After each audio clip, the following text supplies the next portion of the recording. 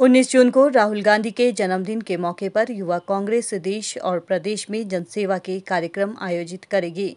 प्रदेश में युवा कांग्रेस इस दिन गरीब मजदूरों को 20 किलो की राशन किट बांटेगी और आइसोलेशन में रह रहे लोगों को आइसोलेशन किट वितरित करेगी।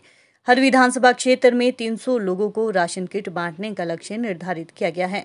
इसके अलावा इस दिन रक्तदान शिविरों का आयोजन भी किया जाएगा। युवा कांग्रेस के प्रदेश अध्यक्ष निगम भंडारी ने वैक्सीन को लेकर भी सरकार की व्यवस्था पर सवाल उठाए। निगम भंडारी ने कहा कि कोरोना से बचने का एकमात्र तरीका वैक्सीन लगाना है और ज़्यादा से ज़्यादा टेस्टिंग करना है। 18 से 45 साल के बीच के लोगों के लिए स्लॉट बुकिंग का जो सिस्टम सरकार ने लागू किया, उससे युवाओं को परेशानी हुई है। 10 से 15 सेकंड में स्लॉट बुक हो जाते हैं। ग्रामीण क्षेत्रों के सभी लोगों के पास एंड्रॉयड फ़ोन नहीं होते हैं, इसलिए वे कैसे वैक्सीन के लिए रजिस्टर करेंगे? सरकार इसमें पारदर्शिता नहीं अपना रही है। सरकार ग्रामीण क्षेत्रों तक वैक्सीन उपलब्ध करवाएँ। 19 तारीख को आगामी 19 तारीख को हमारे आदरणीय नेता राहुल गांधी जी का जन्मदिन है, जिसके लिए मैं उनको एडवांस में उनको बधाई देना चाहता हूँ। और इस दिन पूरे देश भर में युवा कांग्रेस के राष्ट्रीय अध्यक्ष बीबी श्रीनिवास जी और युवा कांग्रेस के राष्ट्रीय प्रभारी कृष्णा अलोवेरा जी और हमारे हिमाचल कांग्रेस के प्रभारी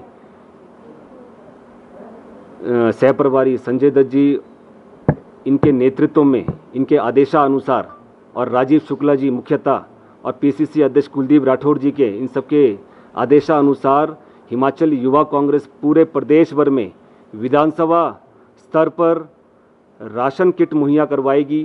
साथ ही साथ जो लोग जिनको लगता है कि उनमें कोरोना के सिम्टम्स से जो लोग आइसोलेट हुए हैं, उनको आइसोलेशन किट मुहैया करवाएगी और साथ ही साथ कुछ जिलों में जिस तरीके से ब्लड की कमी प्रदेश में मरीजों को हो रही है तो युवा कांग्रेस राहुल गांधी जी के जन्म दिवस पे ब्लड डोनेशन कैंप का भी आयोजन करेगी।